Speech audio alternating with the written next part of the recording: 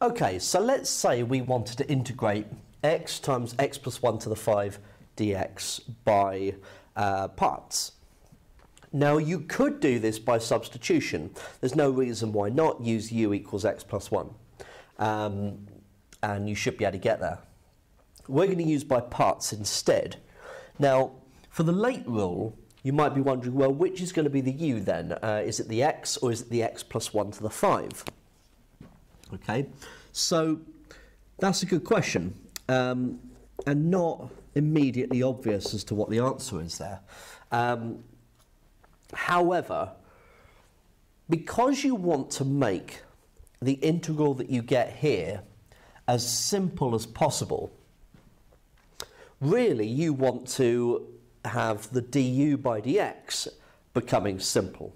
Okay, um, so the one that you are differentiating, you want to get uh, as simple as possible faster. Okay, so we don't have to keep on integrating.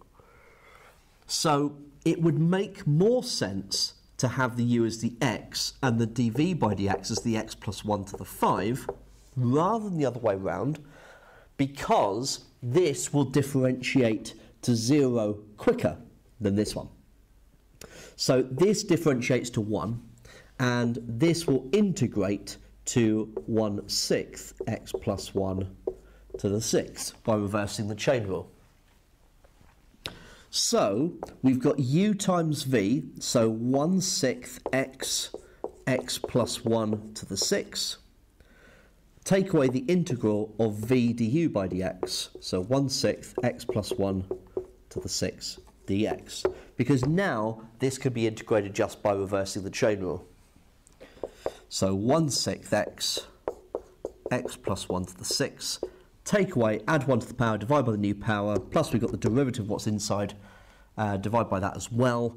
Um, so we've got 1 over 6 7, so 42 x plus 1 to the 7, plus your constant c of integration.